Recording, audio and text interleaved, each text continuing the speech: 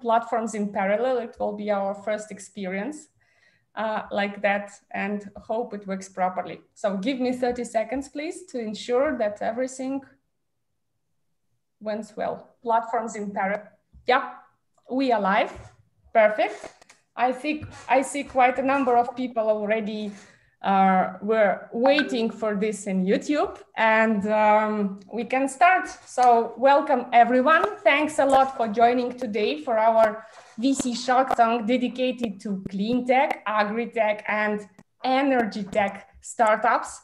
Uh, we have a set of great investors and great projects and um, I want to start as usually with uh, introductions by investors. And uh, um, I would kindly ask you, each of you, to give a few um, minutes introduction of your investment fund and, of course, your investment thesis and criteria so that everyone understands what exactly investment opportunities you are looking for.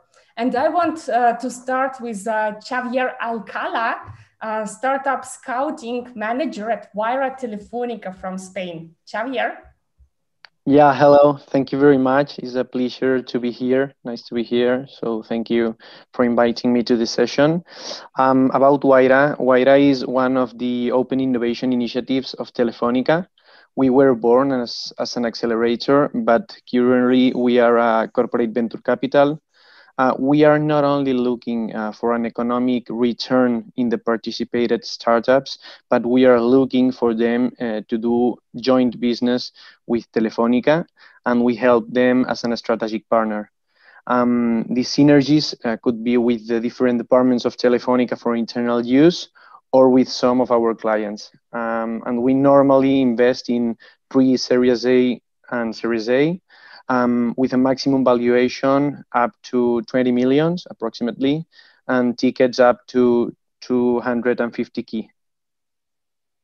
Awesome. Thanks a lot, Xavier. I know that a lot of startups wanted to reach out to Telefonica for both investments and corporate pilots. So that is their chance, definitely. You're welcome. Uh, okay, and I want uh, to give the word to another investor, Pablo Perea from GoHub Ventures, also from Spain, by the way. Hi, Pablo. Hi, hello. Thanks for the invite. Uh, it's a pleasure to be here. Thanks. Uh, so, so GoHub is the corporate VC of one of the largest water utility companies in the world. And in the last two and a half years, almost three years, we already have around 24 companies in our portfolio they are focused in what we call deep tech, so all of the technologies that fall into this broad concept uh, that are mainly, um, you know, disruptive technologies. And in terms of the profile of the business, we're not only looking for uh, water technology startups, we're also looking to a wide array of, of verticals. And um, in terms of tickets, we invest, we have our accelerator program, and we have the venture side of the business where we invest between 500K and 3 million.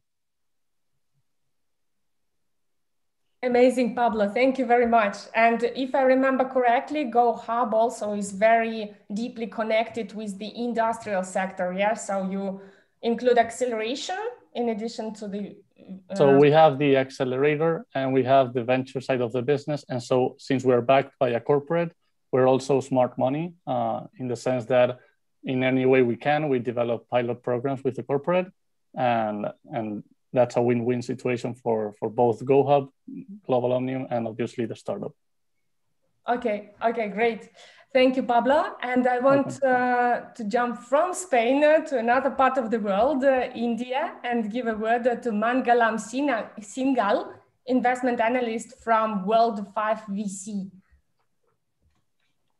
Mangalam? Hey, hi Nelly. Hi everyone. Hello. Can you please briefly remind us about your investment thesis and fund? Yeah, so you know we especially look for uh, ventures which are either into B2B or B2B2C space, and uh, you know looking out for ventures who use deep technologies like AI, ML, blockchain in their core product or the service offerings, and we predominantly do pre-series rounds and clean tech is something that you know we are really looking forward to investing that's why i thought i'll join today Oh, that's cool, Mangalam. Thanks a lot for joining. I know that you felt not good, so it's a, a special um, honor uh, that you did it. And uh, I also remember that you are super active in uh, the venture investments these days. Yeah. Uh, so cross my uh, my fingers that uh, the deals will come up soon. Yeah, thank you. Thanks, Nidhi. And I want to give a word to the investor from Switzerland, Luca Zerbini, partner at Peak Point Partners. Luca, hello. Hi, well, thank you for, uh, for having me again. I am uh, looking forward to the discussion. Uh, so we are a 120 million fund focused on uh, early growth, so Series A and Series uh, B uh, across Europe and in sustainable technology. So for us, of course, the return on investment is very important, and as important is uh, the focus on uh, addressing some of the uh, UN Sustainable Development Goals. So look forward to the discussion. That's cool, Luca. Thank you, and you have a beautiful background. the Alps, of course. So, um, and uh, last but not least, I want to give a word to Halil Efendiev, uh, who is not typical VC, but innovation manager and at Tesla Group. Halil, can you please uh, describe your uh, focus? Yeah, hello. Hello, thank you for the opportunity to participate. Yeah, you're correct. We are not traditional investor. I'm responsible for open innovation field in our company. Basically, yeah, we we have many challenges, and uh, many of them are in the field of sustainability and circular economy, uh, especially with CO2 emission and different kind of waste that uh, we have because of our production. And uh, as I said, many challenges, and uh, for sure we we want to lead this change and uh, basically my my goal is to to find the companies that can companies partners people can, that can help us in this journey. Amazing. So you are looking for the startups to make corporate partnerships or um, uh, pilots with yes? Yeah yeah, yeah. amazing. Guys uh, get prepared. You see how many opportunities you have today in addition to traditional VC fundraising. Thank you very much, Halil, and uh, thanks to all investors. For startup founders, please get prepared. You know that there is an order um, and uh, you received it by email and uh, you can share your uh, screen definitely and uh, share your pitch deck. You have five minutes. I remind you, each of you has five minutes pitch and then unlimited Q&A with investors. And immediately after the session, we will collect feedback from investors and make direct introductions to facilitate your negotiation for the future deal. I want to give a word for amazing founder from Canada, and the startup is from Latvia, Europe, Fixar, and uh, Yulia Druzhnikova, Director of Global Expansion at Fixar. Yulia, are you ready? Uh, I'm afraid yeah. you're muted. Yeah, okay. Yeah, it works perfect. Thank you. Thank you, Nelly. Thank you, everyone. So my name is Yule. I'm Global Expansion Director at Fixar. Fixar actually stands for fixed angle rotors, our core technology we use in our technologies, in our products. And I'm speaking about autonomous unmanned aerial solutions for the industrial missions. And this is our flagship model, Fixar 007. It's not a secret agent 007, it's just the seven kilograms is the takeoff weight of our solution actually what type of problem do, uh, do, do, we solve? Currently on the commercial market, uh, the drone operators fa face the problem. They have to choose between the models that are quite easy to use, but they cover on the short distance, like 15, 20 minutes. And those models like fixed wings, that cover longer distance, but they are quite difficult to use. They need the catapult to start and the parachute to land. And on top of that, none of the existing models can carry enough payload capacity to collect the precise data. And that's why we knew that the industry requires lightweight, unmanned aerial system to deliver solutions with all three attributes. And that's why we created Fixar, a complete unmanned aerial system for business. It has vertical takeoff and landing. It operates even in geomagnetic anomalies. It doesn't have any complicated mechanisms. It covers long distance up to 60 kilometers and flies up to 60 minutes on one battery charge, and it's fully autonomous. And when we say autonomous, we mean this. So these are the core assets we have, the patented aerodynamic design that is scalable to extend flight distance and payload capacity. We don't use any open source protocols. All our software is our uh, proprietary software, like autopiloting system um, that brings the safety even for the beyond visual line of sight flights. We also have our proprietary ground control station where you create the mission, press the button start, and drone starts implementing the mission on its own. It has automatic terrain tracking. It's uh, and full and uh, very intuitively simple interface. So due to the swappable payload module, our drones are absolutely industry agnostic. We can do at the same time the different missions, simply changing the sensor. For example, we, do, we did this amazing case aerial photography on Elbrus, the highest mountain in Europe, on 4,500 meters above sea level, where actually just a few professional helicopters can work.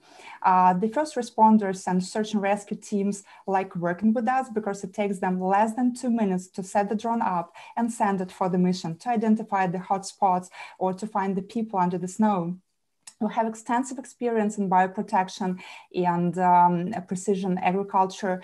Uh, we are also uh, a perfect uh, solution for the last mile delivery, even of the temperature sensitive biomaterials like blood, blood products, vaccines, or medications. Actually, we launched our sales only seven months ago, and so far our total revenue is $325,000. So all the uh, technological advantages that I already mentioned, at the end of the day, they bring the economic efficiency, and that's what matters. So simply comparing Fixar with average copter and average plane, we see that the cost of aerial mapping or the monitoring of long-range assets like oil and gas pipelines, power lines, etc., or last, last mile delivery are up to 10 times more efficient than if they're done by average copter or average plane. So speaking about our, our traction is uh, we are fully developed and manufactured in EU, we in Riga, Latvia. Uh, we have very strong IP portfolio. We have patents on aerodynamic design and payload module. All our, uh, all our software, proprietary software are certified. So far, we collected $2.6 million and over the last year, we've grown our distributors network from zero to 25 all over the globe. We have certification in Canada and the United States. We're certified as the visual line of sight drone. We're completing our application in EU as well.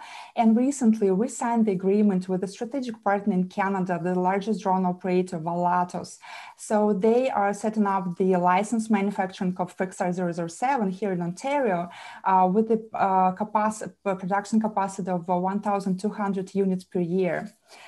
So our business model is very straightforward. We do develop the dealership network uh, with the 75% gross margin, and that's how we do sales.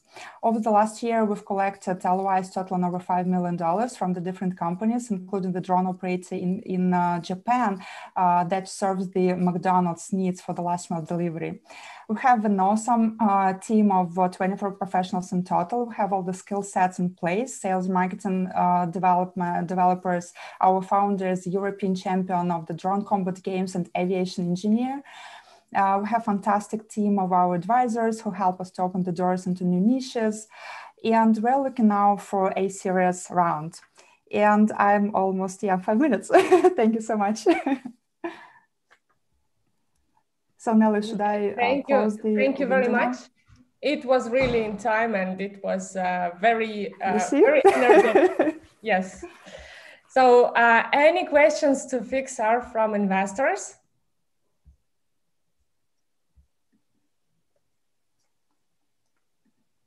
Okay, I have a question. Um, sure. Julia, could you uh, tell us a bit more about you know the, the, the market size you see for the uh, for this solution, and where do you think uh, this is going to be uh, first introduction? I mean, in terms of uh, where do you see that advancing faster in this moment? You mean the niches or the geographical geographical geographically and, and type of niche as well? Yes. Yeah, absolutely. That's very simple. So I just hide the slide, but uh, to make the long story short, it's um, it's mostly we're focusing now on the uh, top, uh, like more mature markets. That's the North America, Canada, and the United States, and the European Union. At the same time, we already did the uh, first supply to Africa, to Mozambique, and the United Nations are very interested in working with Fixar. They're now doing the demonstrations. We have the huge interest from uh, India um, Australia, New Zealand, and Japan.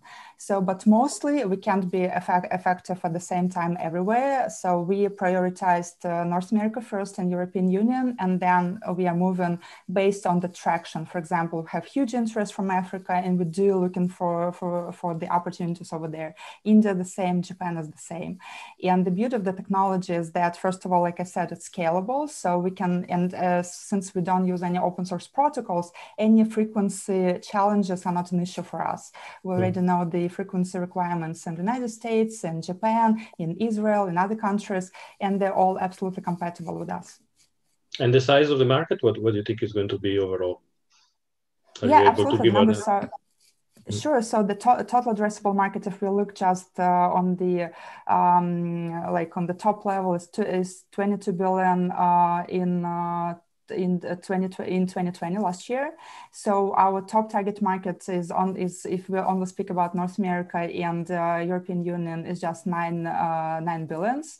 Uh, so it's uh, just five uh, 55 percent uh, of the global market.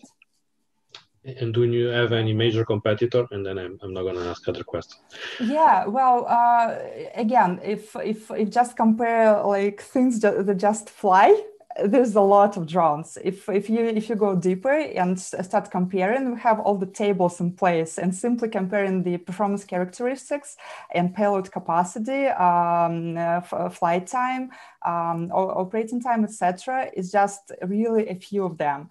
So, and I, I can just, for example, a lot of people come to me and say, hey, how do you compete with DJI? The answer is very simple. We do not compete with DJI.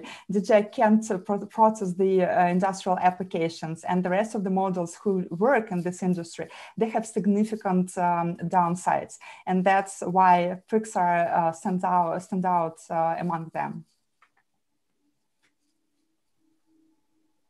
Okay, great. I guess uh, Luca is more or less fine with the questions. And thank you. No, no, I want to say thank you. Thank you, Sorry. so much for the okay. questions. Uh, and speaking about industrial, uh, I see Pablo yeah. unmuted. Pablo, your questions, Hi, sure. Hi, Julia. Um, just a quick question. So you sell the drones, so the product to the end customer or the drone operators?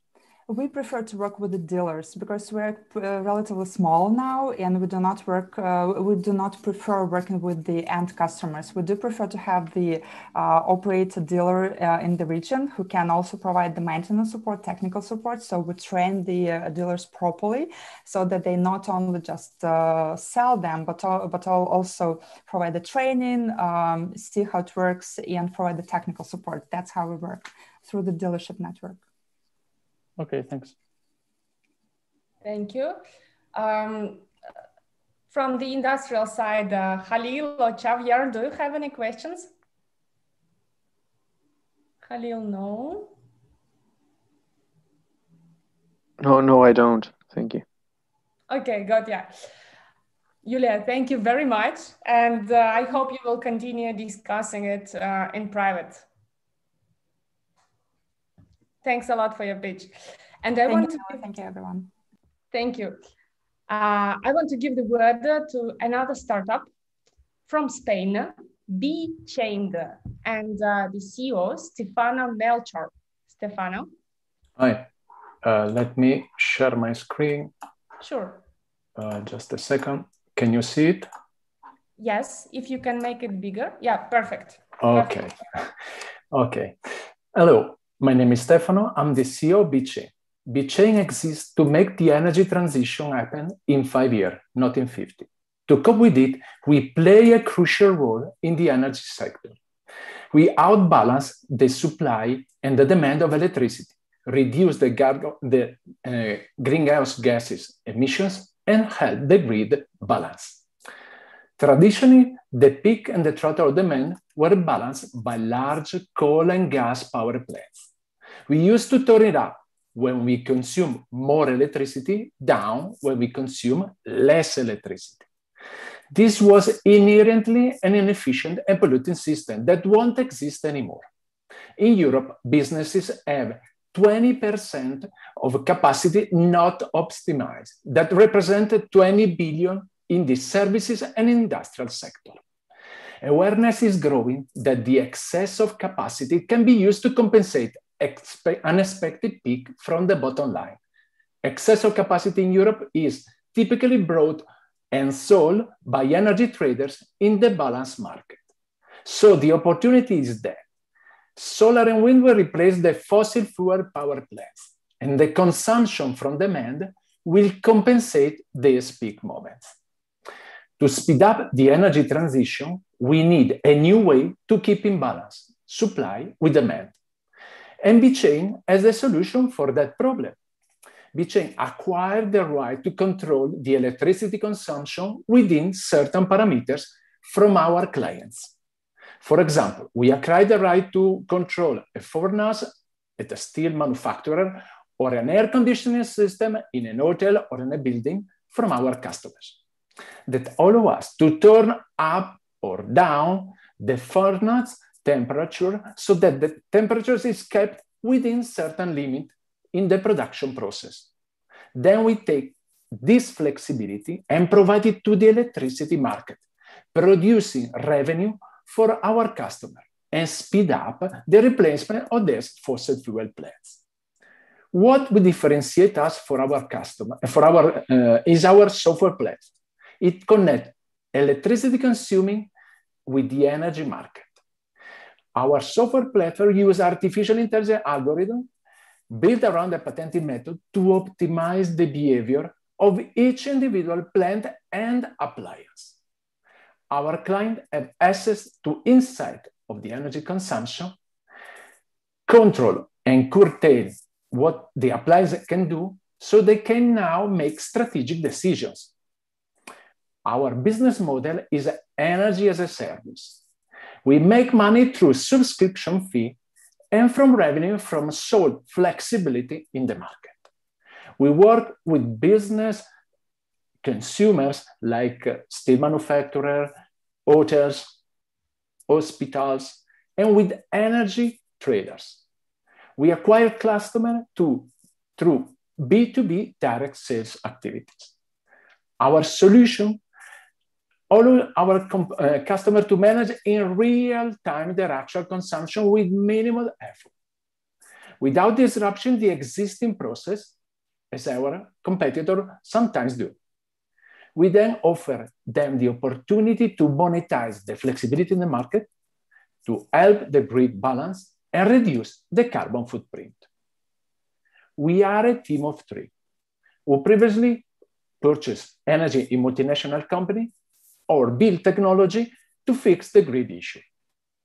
We project that we can reach 10 million euros by 2024, having already secured our first 90,000 euros contract. Expecting a second one by June, we got two letter of interest and started to deal with the utility in Andorra. We need to expand traction and team. That is why we are raising a pre-seed 500,000 euros found over a, a 2 million evaluation. So it used to be that the businesses had no control over their costs, nor opportunity to play a role in the energy market. But now they open up to these businesses. And that means that they will start monetizing their participation and uh, in the market, reducing the cost and the carbon footprint. BeChain make it easy and seamless, paving the way for a business to get value out of their responsible consumption.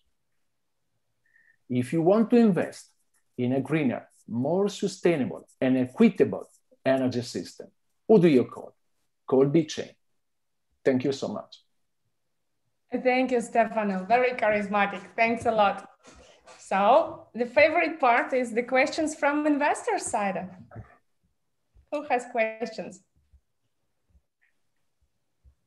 I, have a question. Um, I'll need to know uh, in terms of billing. Um, do you have, do you already have revenues, or how are you in? in yes. In the point of billing. Yes, we we signed in the in the beginning of the year a 19,000 euros contract. So along the year, we, we are going to uh, invoice uh, with a total of 90,000. As I said before, in June, we expect to sign another second contract with 80, uh, of about 80,000 uh, euros. Uh, I have to, to, to, to I, I, started a deal with the utility in Andorra and this contract is going to, uh, we are going to invoice, I think, we, sorry, we are going to sign it, I think before the end of June because uh, we, we started already to, to, to discuss technical, uh, technical details. So our projection is that we can reach half a million of revenue, hopefully by the end of the year. Xavier, okay, thank, thank you. Thank you very much. Good. You're welcome. Um, any other questions from investors?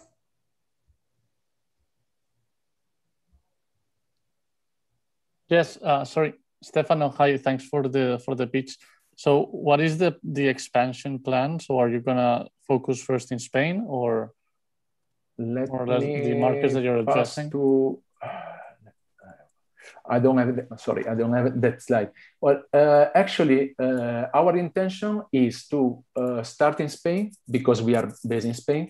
But since the grid, the electric grid uh, between Spain and Portugal is shared, the next natural uh, market will be Portugal. Uh, January the 27th is open up the balance market in Spain. Hopefully by the end of the year or the beginning of next year in Portugal as well we have a, a, a, patented method. The patent is registered in Europe, Switzerland, UK, Russia, and USA. This means that are these are our, let me say, target market. Um, in our roadmap, we expect to, uh, to issue another uh, seed round by the end of 2023 because we want first to accelerate in the Iberian market and then to expand uh, seamlessly in other markets in Europe. So we are going to uh, expect this seed round to uh, help us be stronger in, in, in internationalization. By the way, the strongest or more interesting market right now uh, in Europe are uh, UK, France, and let me say Benelux, in the sense that Netherlands and Belgium, because these markets are a bit more advanced.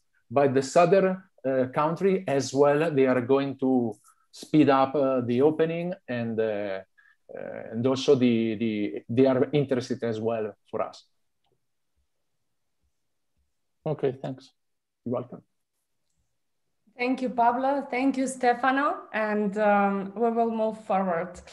Um, I want to give a word to another startup from Italy, this time another great market, EcoSteer company, and uh, Giada Zanata will present it. Giada, are you ready? Yes, thank you. Uh, let me, okay. Good evening. Uh, I'm Jada from EcoSteer, an IoT and blockchain startup for data ownership and monetization. And our objective is to lay the technical foundation for a new decentralized and distributed data economy. Today, uh, okay. Today, uh, real-time nominal consumers data is the new oil. And uh, there are several researches and real examples that show how our personal data coming from our uh, personal smart devices uh, have as a huge economic value. However, privacy laws limit data monetization opportunities. And the reason is of a technical nature. All the current IT data sharing infrastructure are centralized as they have exclusive control over third-party access to consumers' data.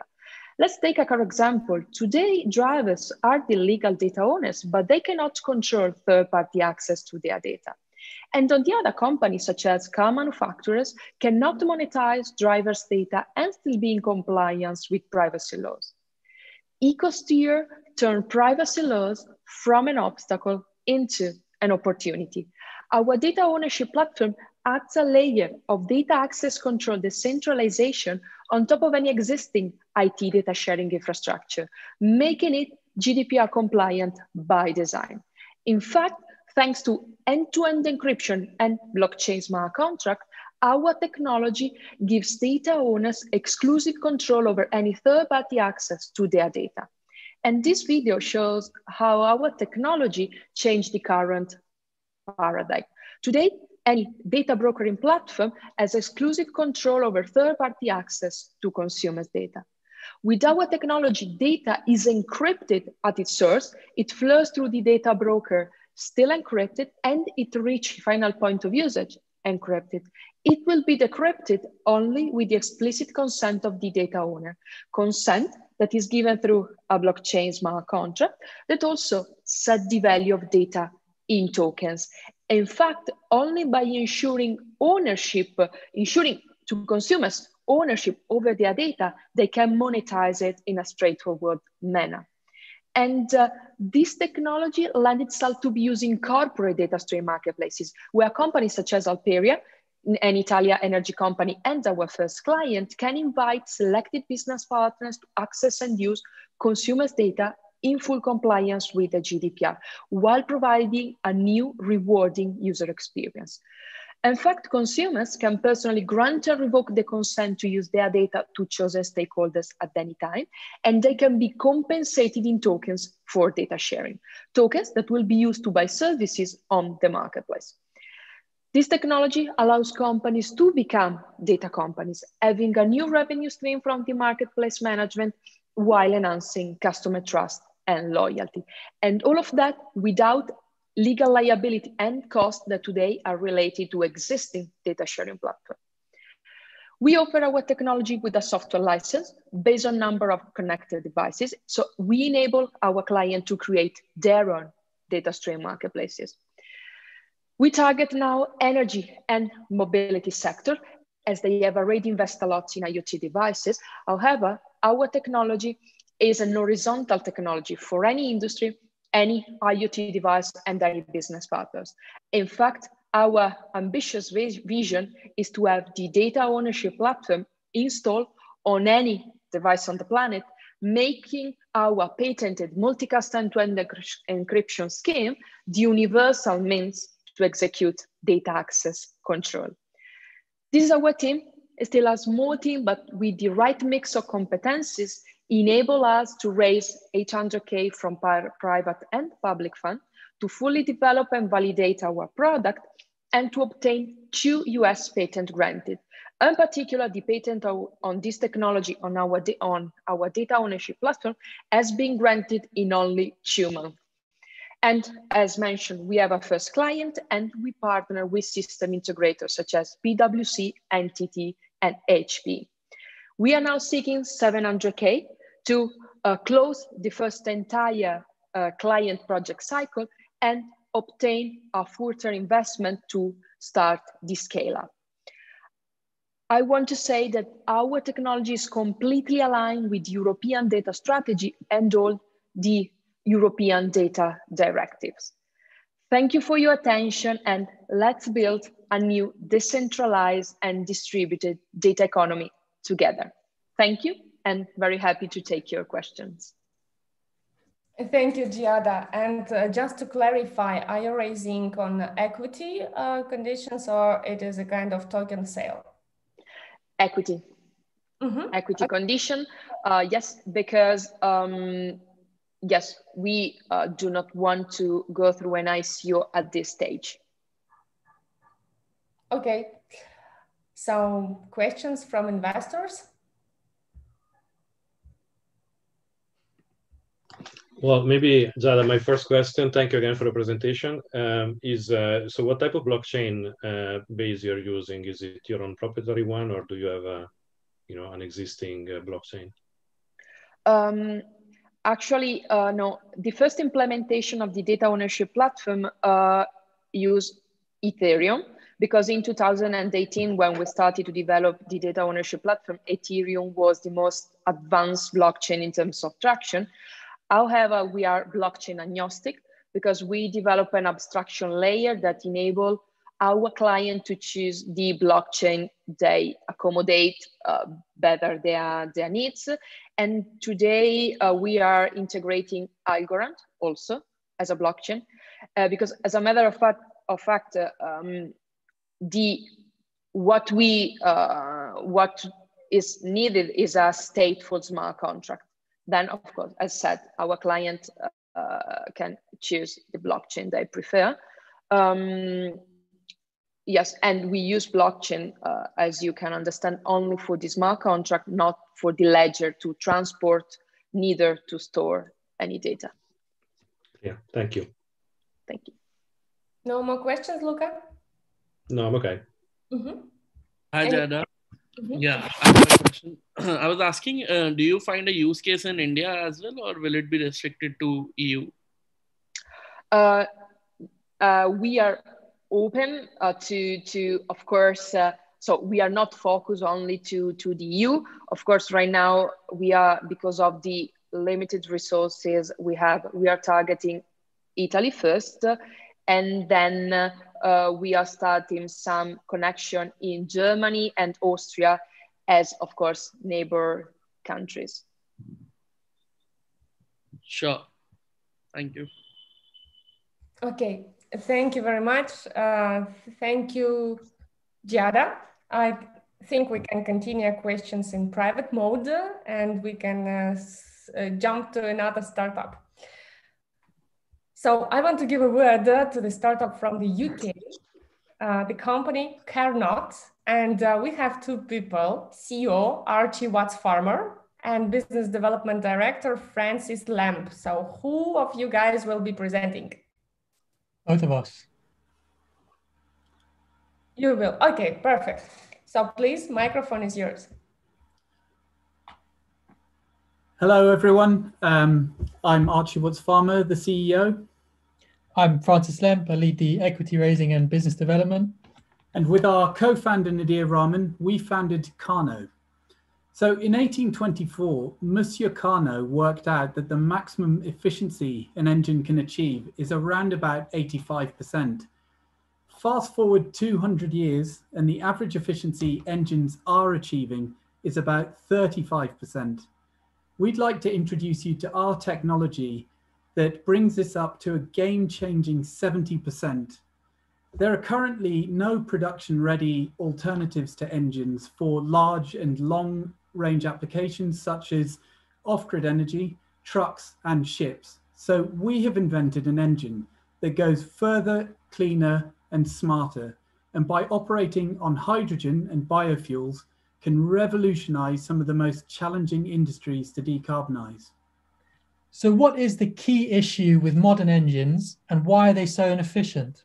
Well, a modern engine will waste, on average, one third of fuel to cooling systems that stop metallic components from melting. We're developing engines with key components manufactured from ceramics, able to withstand fuel combustion temperatures, eliminating the need for cooling systems and doubling efficiencies. The global transition to net zero means we need to radically rethink the way we generate, use, and store energy. The markets we're targeting are prime off grid power and long term energy storage, shipping, and finally, heavy duty trucks. These markets are facing an unprecedented need to innovate and are looking to startups to meet this need. By combining clean Carnot engines with batteries, we can enable battery technology for these large and long haul applications for which batteries alone and fuel cells would otherwise be unsuitable due to cost, weight, and size limitations. With double efficiency, Carnot engines will halve fuel costs and reduce the total cost of ownership by 35%. The payback period for the high unit cost will be within 10% of the product's life. Crucially, our vision is to drive our target markets to net zero emissions through mass adoption of our clean engines. In order to facilitate this transition, our engines will also be able to operate on hydrocarbons, halving emissions along the way. Transitioning to net zero will be achieved by simply swapping out the fuel delivery system to run on hydrogen and biofuels. So my background is 10 years in the aerospace sector. Francis is our quantum physicist and Nadir is our designer extraordinaire. Since launching, we've been awarded a £300,000 Innovate UK grant and a further £300,000 Eureka Eurostars grant. We won a place on the TechX Accelerator run in partnership with BP and Equinor. We filed a patent containing seven key enabling inventions. We formed key strategic relationships, including with Fraunhofer, the world's largest research institute on technical ceramics. And we've developed an energy access solution for a rural community in Ethiopia, working with the Ethiopian Institute of Technology. We've identified off-grid energy in sub-Saharan Africa and marine vessel auxiliary power units as our beachhead markets. And we've also assembled a world-class advisory board, which includes Ed Wood, the former chief design engineer at Williams Formula One, and Duncan Dunbar, the chief designer of Mercedes Formula One powertrains. So Carnot has a five-year, three-phase exit strategy, and we're currently approaching our first key milestone to run a prototype in August of this year. To access our target markets, we will form development partnerships with industrial players to whom we will license our IP. Carnot will develop the core technology while partners will handle manufacturing, sales, and distribution. We're now seeking a total funding amount of £5 million in order to begin our second phase of development by expanding our engineering team, filing international PCT patents, and beginning pilot scale trials. We're looking for investors that can help refine our business strategy, launch Carnot into the market, and it crucially share our vision to move further, cleaner, and smarter. Our momentum is building, and we'd be delighted for you to join us on our journey to move further, cleaner, and smarter. We really appreciate your time and the opportunity to present. Please feel free to ask any questions you may have. Thank you. Wow, thank you very much. You're first perfectly in time, and second, during I think one year and a half, it is the first time where it was such a synchronized uh, pitch of uh, two people uh, in parallel. Amazing, guys. Thanks. Thank you very much. Thank you. So, questions? From investor. Look, I I see already unmuted himself. Yeah, I you know I I love automotive. I, I spent a lot of time in it. But um, no, I actually wanted to ask you. Um, uh, this is of course you know for long haul and, and trucks and stuff like that, right?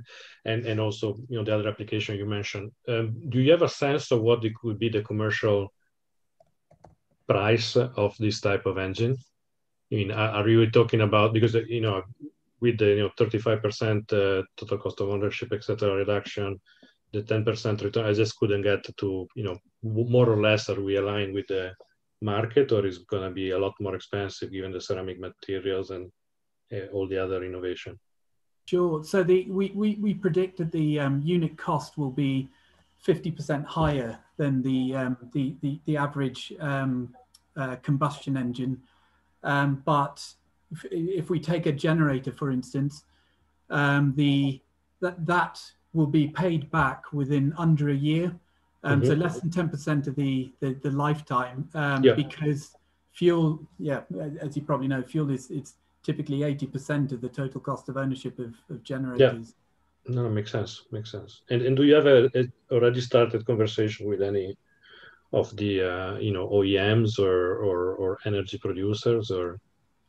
So yes. we've we've we've um, we've been in conversations with the OEMs. At, at the moment, we're actually focusing on um, the uh, the um, end users. So we're looking at um, people who can provide test platforms, pilot scale trials, that type of thing. So we just finished a conversation with a, a marine vessel operator um, today who's willing to to trial our technology. Mm-hmm. Um, basically we want to spend the next two years and the, the money raised with our um, with the next round um, making our our intellectual property watertight um, developing the technology and, and trialing it um, so that by the end we can have a license agreement in place with the um, with an OEM. Got it. Okay. Thank you. Any other questions to the team? Okay, probably we'll leave it for private. Thank you very much, Archie and Francis, and uh, uh, we will come back to you when we get the feedback after the session. Thank you, guys. Thank you very much. And I want to give the word to the startup from Canada. Um, well, there is a confusion. It is written in my notes that the startup name is Arterran Renewables, but I see that on InnMind it is called Velocity. So maybe the founder can explain better. Um, VP, sorry, VP of Business Development, David Thiessen. David, are you ready? Yes, I am. Uh, yeah, I can explain that. We are a clean tech company and we're embedding our clean tech into fintech, and that's what I'd uh, like to tell you about today. So Ah, thank you so for your you're time. transformation stage. Okay, okay. So microphone is yours. Please go. Thank you for your time, everyone. I have two platforms to let you know about our commercializing clean tech platform and our digital and our digital supply chain platform that will help investors to hedge inflation, earn a yield by fractionally financing the renewable production projects of the industry that builds upon our clean tech, clean tech platform. Four types of participants will onboard the digital platform, impact investors, plant manufacturing partners, the producers who will make and deliver the lower cost biocoal, and of course, the coal-fired generators seeking to renewably phase from coal. And this will all occur on Lab 577's Dazzle platform built on Corda, which we will white label license. Next steps requires a 70-day coding of the automated market maker, and this mechanism will allow liquidity providers to earn a yield hedged in a unit of energy backed by the producer's production pool. The producers stake their forward production onto the digital platform. We'll ne- negotiate 10 to 15 year contracts with each of them, which is standard for our industry. This makes us the biocoal trading partner and allows us to discount forward revenues, offering a commodity hedge, hedge and yield farming opportunity to liquidity providers. This type of financing is known as whole business securitization. And via this model, we will finance and trade the whole industry that builds upon our clean tech platform. And by doing so, we will scale the industry so much faster. For example, digital platforms, I think, uh, reach Uber scale in four years. Your typical um, Fortune 500 does this in 20 years. So, um, and that's basically the benefit of this. And if I sort of go on, I guess uh, coal is a massive industry. It's 5.1 billion tons of coal. If if we were to replace just five percent of that coal market, we would have to build a new production plant every day for eight and a half years. There's no way our company, even as I, I believe we are the number one solution to climate change, seeing that coal's the number one problem to to to coal. But yeah, it's going to take the world to adopt our technology to build these to build these plants and these pellets basically to replace coal. And let's see. Um, in short, liquidity providers will be able to swap out of a devaluing currency into a digital unit of energy. This pooled capital finances projects and the production of biocoal, and the whole trade settles when the coal-fired generators buy the digital commodity to secure the physical production rights. Initial price discovery is provided by Argus Biomass, who reports the assessed value of pellet trade from global markets, and namely of our competitor, the industrial wood pellet. The wood pellet is the only renewable fuel today competitive to replace thermal coal. So coal guys have only one option, and that's the wood pellet. And now after eight years of R&D, we're about to introduce a superior, a more competitive biocoal product into the market, offering significant logistical savings. And what this chart shows here is if we'd replaced all of the pellets uh, delivered, exported in 2017, uh, it took 523 Handymax uh, ships to deliver the wood pellet, we would be able to do it in just 311 ships. And that's because we have more energy, energy density per ton, and more mass density per, uh, per ton as well. So we can get more energy in a, in a cube, basically. You can look at it that way on a train or a truck.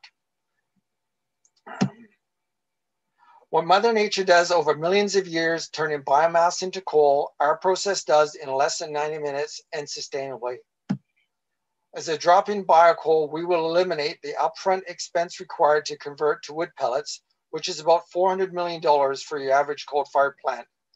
And it will wipe out the expensive, expensive silos to store pellets from, uh, to, from moisture and also the special trains, as you can see Drax built here.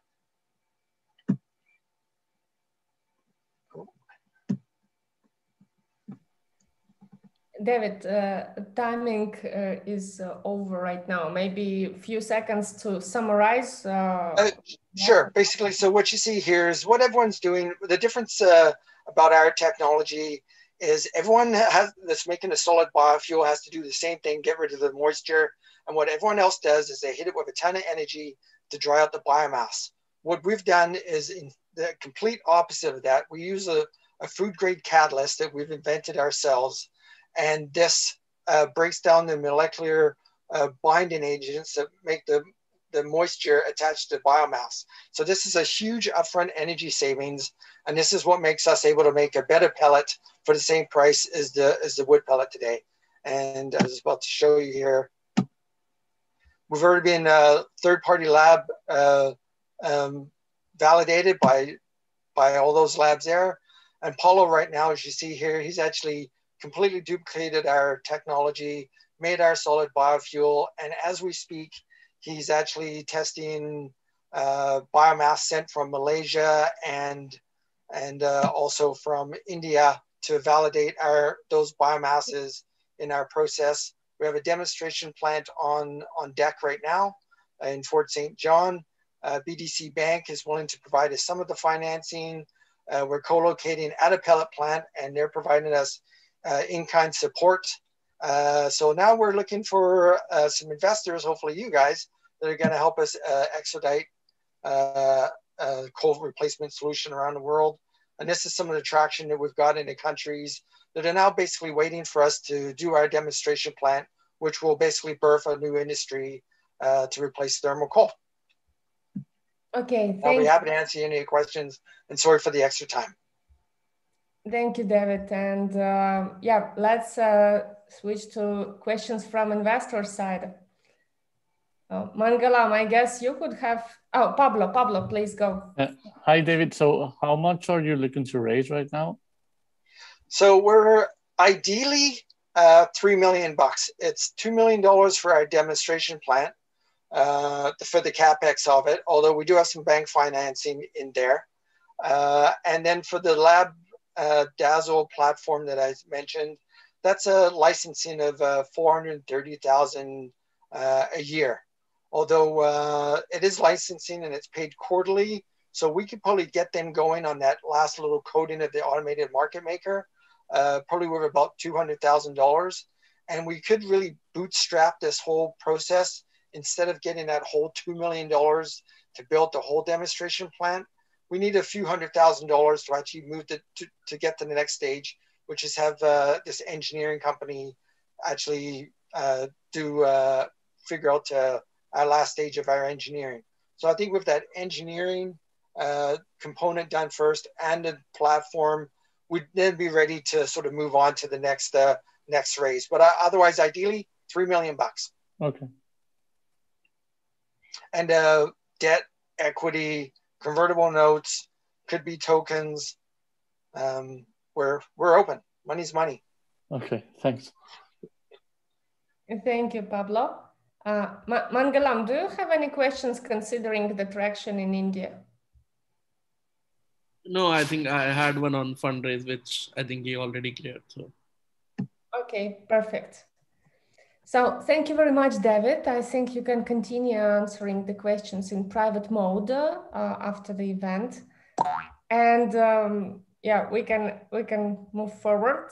The last but not least for today, the startup from Switzerland, uh, Skypull, and uh, the CTO, Aldo Catano. Aldo, are you ready? Yes, I'm ready. Great. So you can start sharing your screen. Yeah, can you see it? Yeah, uh, can you make it bigger? Perfect, perfect. Okay, yeah. So Your time. Mm -hmm. Thank you. Thank you for everybody. So I'm Aldo Catano, CTO of Skypull. Uh, what we provide is energy from drones and altitude winds. Now, our mission is accelerating energy transition to renewables. And the ambition is uh, that we don't want, you know, to uh, move uh, higher than two, uh, two centigrade uh, of uh, in, temperature on the world. So where we are now here is on the left, and where we need to go is increase, improve 80% of renewable energy in some years. Now, how we to achieve the, this ambition goal is by tapping into resource strong and consistent winds at 200 meters altitude and above.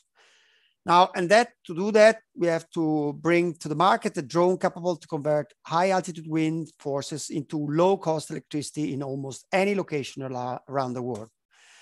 Now, as you see from these two slides, on the left, you can see the wind speed at 100 meters altitude and on the right at 500 meters altitude. So the energy you can uh, exploit from the wind is going with the cube of the wind speed. So if you increase uh, a bit the wind, you have really a bit increase of energy exploiting. That's the reason why we want to go higher there and not as a standard wind turbine that has to work at 100 meters altitude.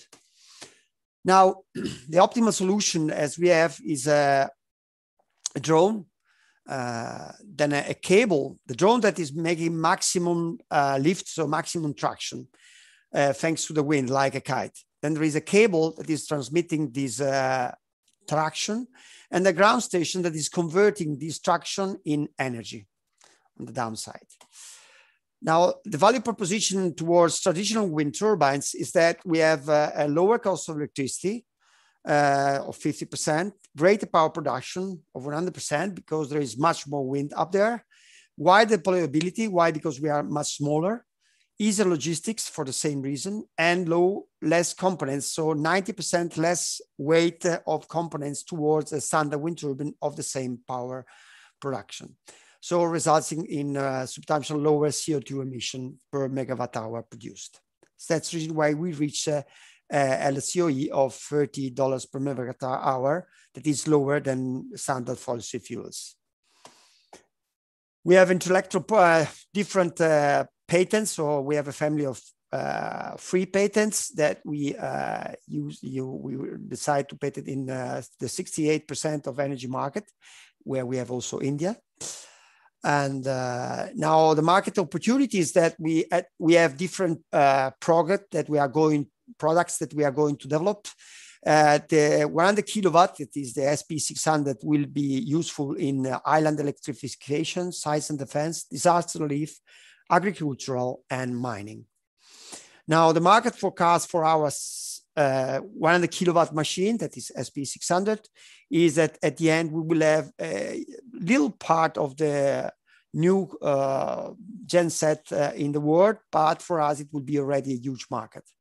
And if we look at uh, the uh, megawatt system, also there we are only looking to a really small fraction, but for us will be really a really big uh, business plan and re, re, a lot of money for our company.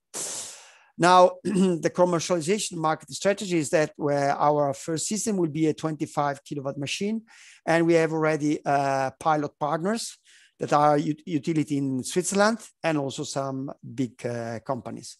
As soon as we reach the 100 kilowatt machine, the SP600, there is uh, Vestas, that is the biggest company in the world for wind turbines, that is interested to buy the signed uh, LOI to buy two of our system and uh, interest also in by Enel. Then we will have a commercial product and then uh, scale up uh, to utility scale. Now, investment proposal at the moment, uh, uh, we are raising, we are currently raising 1.1 million, and we have already secured 400k for a total of 1.5 million. In the past, we already secured 660k for equity, and uh, in grants and prizes, 1.2 million. Now, uh, these are all our acknowledgements. Uh, we were incubated by European Space Agency, we were uh, and we are still uh, funded by the Swiss Federal Office of Energy and uh, and then uh, we, we, were uh, on the media of BBC and a lot of uh, Swiss uh, newspapers and TVs. Okay, thanks. And that's it on my side. Hope that I say it in the five minutes. Open Thank you, Aldo. It was uh, impressive, great presentation. Thank you. So questions to Aldo. I guess uh, Luka will want to ask because he's also from Switzerland. Of course, I want to ask. No, uh, thank you, Aldo, for the presentation. Uh, the, the, first question I have is is um, is there any interference with these cables moving uh, 200 meter um, with anything else? I mean, from low flights, uh, drones to whatever else, um, but even with other cables. Correct. Uh, thank you for a question. So now uh, we have a permit to fly whenever we like uh, uh, near Lugano. So we are always working with the uh, Civil Aviation Authority of Switzerland. We already went one time to the European uh, agency, and so we are. Uh, we know if uh, another drone is coming, helicopter is coming, a plane is coming, because we are using a different type of electronic device like transponder, FLARM, and we are now moving to use uh, uh, for low flying uh, moving flying object like paraglides that perhaps has not these electronic devices on board. We're going to use uh, detector via um, webcam so that in this case also we, we can uh, uh, know actively who is coming there. As soon as we are getting bigger and we will have wind farm, we will have also radar and then in this case, uh, uh, yeah, we will really scan all the uh, the space uh, near us. Thank you. And, and so my question, second question was actually exactly in the direction. So you, so how many of these objects you need to have, um, you know, together to produce enough energy? I don't know for a city or for. A, yeah, okay. Uh, so what I want to say, uh, I don't know if you see the uh, slide, that uh, we are going to use uh, less, uh, so we are going to produce more energy from the same space compared to a wind turbine farm or to a photovoltaic panels. Why? Yeah. Because a wind farm, the wind turbine is always at the same height so that one turbine is making turbulence to the uh, turbine that is after. In our case, our system are one is going down, one is going up, so we can really make everything more compact, and that's the reason why. Uh, for sure, as soon as we are in the utility scale, uh, we can think about uh, giving much more energy towards our system uh, now the, the example of, of a village or of a town is, is uh, not so simple to make but okay. Need, yeah. Well, maybe we can talk about it separately. Thank yeah. you. Okay good to see that there is already some uh, traction starting. And uh, i also uh, received the feedback uh, from another founder who wants to connect with you aldo for potential collaborations. Fantastic. Um, Great. Uh, we will do intro after the session. Any other questions from investors? Yes, uh, just one question. So do you move the drones looking for better winds? Sorry, I did not understand very well. So do you move the drones looking for better winds? Like stronger winds, I mean? Uh, look, uh, uh, wind turbine is always uh, so. Yes, uh, as soon as you go higher, there is much more wind. So the wind is always uh, higher uh, as far as you go from the ground. So that's the reason why instead the standard turbine has to uh, work only at 100 meters because uh, the tower cannot be higher than that. In our case, we can really go uh, much higher and so getting much stronger wind, more constant, and that's really uh, good for power production. Okay, thanks. Thank you. Xavier, do you have any questions? Yeah, I wanted to ask um, eh, about, you told us how much you are looking for in terms of money, but uh, in what economic valuation are you currently looking at for the, this money? Yeah, at the moment, so we had the first valuation that uh, uh, was uh, pre-money uh, to 3 million. And now after one year of working and uh, getting all, with all the targets, we, we decide to, now we have an evaluation of 8 millions. Okay. Okay. Yeah. Thank you. Thank you. Good. So I think that uh, you can continue, Aldo, talking to investors privately after this session. Thanks a lot for your presentation. It was really good. Thank you to you. Uh, thanks a lot. And uh, before we finish today, because we are really very good in timing, I think best of any other session, uh, I want to ask one question to investor or, or, ask for a favor. Uh, can you please give an advice for startup founders participating here today? Because uh, the session topic is quite specific, clean tech, energy tech, and agri-tech, and uh, majority of projects, as we have seen today, have hardware element which uh, makes uh, their strategy uh, a lot different from typical software startups. So could you please uh, give some advice on what is the most important for you when you consider uh, projects like these to invest in? Uh, what should they elaborate on mostly in the pitch deck? Luka, I see you want to start. That's great. Thank you. Oh, I feel like I'm no, no. It's a, it's a, yeah. Look, I think for me, what is really important is to see that there has been a pilot line or something that is uh, has been used in terms of you know prototyping uh, that that has allowed the team to uh, let me say test and optimize the solution from another perspective.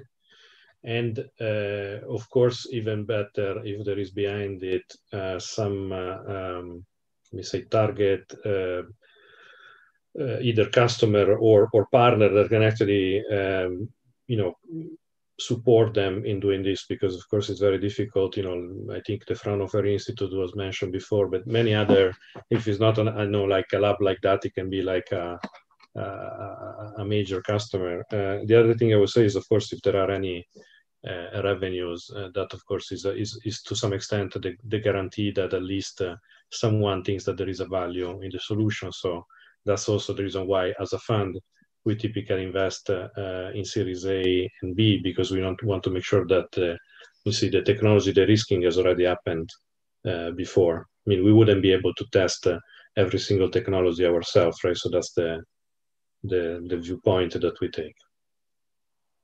Okay, good. Uh, so elaborating more on traction, on pilots with uh, commercial customers, and uh, of course partnerships with industrial players. Correct? Good. Yes, uh, correct. And if it's helpful, you know, after uh, if uh, others have speak, spoken, I can even give you an example of a company that has done that very well. Oh, really? Oh, don't hesitate. Tell us. okay. Well, in a company that we invested in is called Pulpex. is uh, is a manufacturer of the first hundred percent paper bottle that uh, exists in the world. They have um, so they have they are an R and D um, you know licensing type of uh, company, but they've been able to uh, uh, collaborate at the beginning with Diageo, which is the largest player in the world for spirits. Right, they own Johnnie Walker and many other.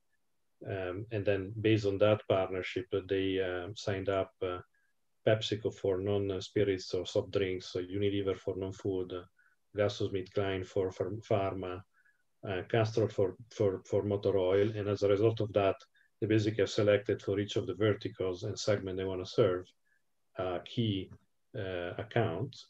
And, uh, and now they even uh, sign up a company called Stora Enso, which is the largest player in the world for, for paper, right? So they, they basically went from, you know, having a pilot line, which is what they have uh, uh, even today, right? To be able to finance their second round, which is the one we did with them, with um, basically uh, to, to be able to do a, an high speed line that then will be the demonstrator for everybody else. And they were already launching a market with Johnnie Walker this year, um, the, the, the product itself. Okay, okay, perfect. I think that's uh, quite interesting example. Thanks for sharing, Luka. And Xavier, I wanted also to ask the same question to you because uh, Telefonica experience is quite interesting here. And uh, if you could share some. Yeah, well, um, yeah, uh, due to our investment thesis, uh, for me, the most uh, important thing is that they have uh, some traction when they contact us, uh, some incomes and those. And, and it always helps to see uh, that there are other interested VCs. Since Wayra does not act as a lead investor, we always go with with other VCs. And another thing that um, that I look at a lot is the team uh, that they are good and highly motivated. Um, that's what I that I what look what what I look most and in how the. do you understand the third factor, the motivated feel of team from the pitch? Again, again, sorry. How do you understand this third factor, the motive, a highly motivated team uh, from the pitch? well, um, for me, uh, is is the the feeling when, when I talk to them. Um, uh, you must have a good feeling, and today I had it with with some of them. So, so I like the presentations of today. Oh, amazing. I'm so happy to hear that. I will contact you, Javier, very soon to ask uh, who of uh, the founders you want uh, to uh, us to introduce you to. That's amazing.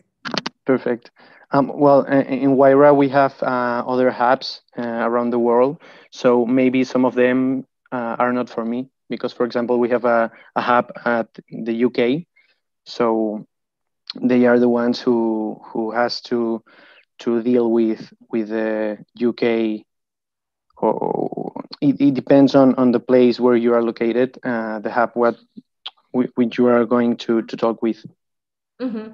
So if the company, the startup is from UK, uh, even if you like them, you can't continue yourself. Uh, uh, mm, well, they can contact me and then I can make an intro to the to the UK hub and if they don't like them I can take it but but they have uh, well they have uh, they have priority I mean yeah being such a large corporate you have this uh, structure yeah. so, uh, you are responsible for all Europe correct In, except no, no, no. Uh, Wayra Barcelona, we are, well, we have a hub uh, here in Barcelona and one in Madrid, and we cover the Mediterranean area.